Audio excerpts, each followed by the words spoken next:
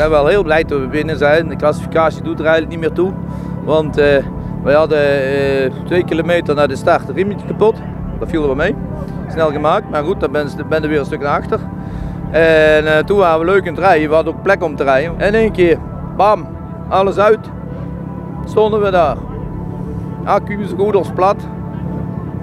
Ik zeg tegen Stijn, even alles uit. We wachten vijf minuten. Ingestoken. Hij ging net rond. Finish gehaald. Hier bij de finish valt hij weer uit. Dus we zijn super content. Op naar de volgende keer.